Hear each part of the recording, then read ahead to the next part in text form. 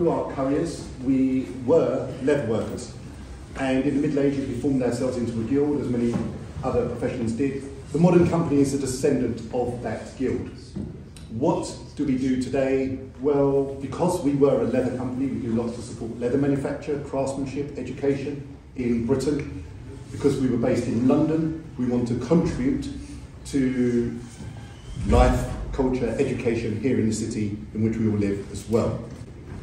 For that reason, this year we set up a secondary school history essay prize.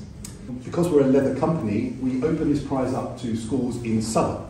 As some of you may know, Bermondsey was the centre of leather production and leather industry in London, and in fact at one point even in the country. There were some very, very good entries, but we could only give one prize. The winner of the prize gets invited to a ceremony at the Guildhall in a month's time, where the Lord Mayor will present a cheque for £250.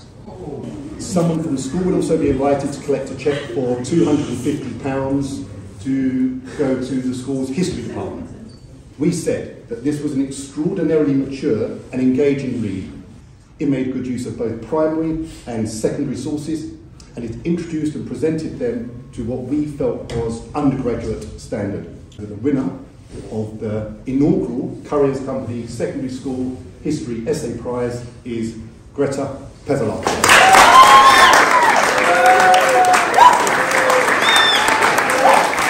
lovely. I'm, I'm shaking, but put the effort in, I put the work in, so I'm really happy about it. Um, I really liked how he said that my um, argument was well constructed. Uh, I would love to go to um, Oxford and study history and English to be a war reporter.